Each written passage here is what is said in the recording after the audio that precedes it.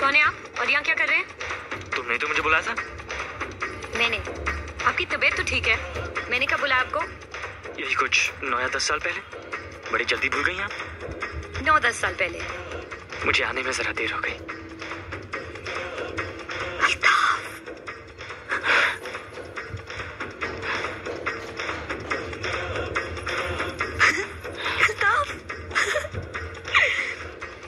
तब मैंने कहा कि अगर सब प्रोग्राम करेंगे तो देखेगा कौन?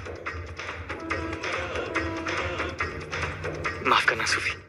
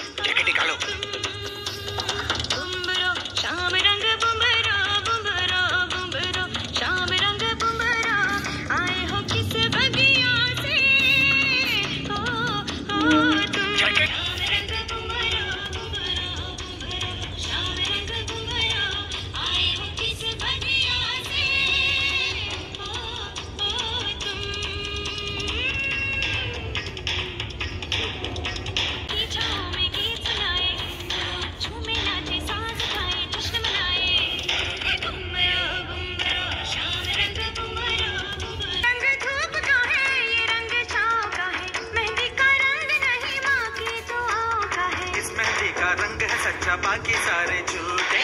हाथों से अब मेहंदी का ये रंग।